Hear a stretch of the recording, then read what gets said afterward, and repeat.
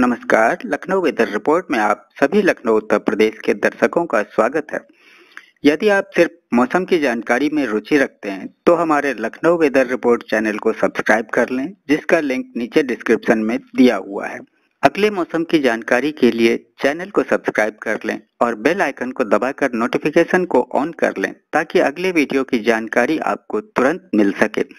और हाँ comment box में अपने ज़िले का नाम ज़रूर लिखें, ताकि हम आपके ज़िले से जुड़ी मौसम की जानकारी दे सकें।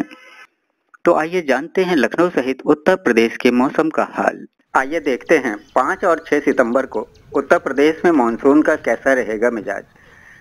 फ़िलहाल वर्तमान मौसमी सिस्टमों के आधार पर यह कह सकते हैं कि आने वाले दिनों में भी कई जिलों में काफ़ी व्यापक वर्षा देखने को मिलेगी। एक चक्रवाती हवाओं का क्षेत्र बुंदेलखंड के ऊपर बना हुआ है। पश्चिमी उत्तर प्रदेश के ज़्यादातर जिलों में मौसम मुख्यतः साफ़ और शुष्क रहने की उम्मीद है।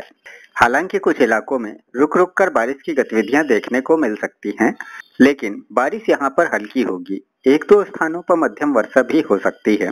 इसी तरीके से नेपाल और उत्तराखंड से सटे उत्तर प्रदेश के तराई क्षेत्रों में भी कुछ स्थानों पर बारिश हो सकती है।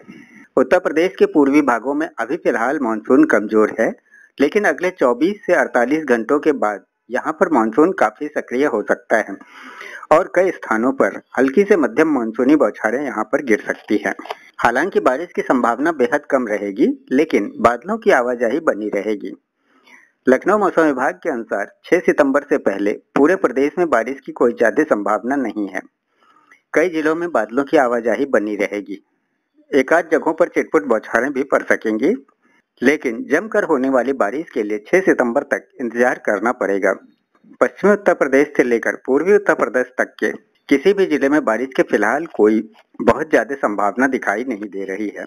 हालाँकि तापमान में बढ़ोतरी की कोई खास गुंजाइश नहीं है, हवाओं के चलने से उमस में भी राहत मिलती रहेगी। तो ये था लखनऊ व उत्तर प्रदेश के मौसम का हाल व जानकारी।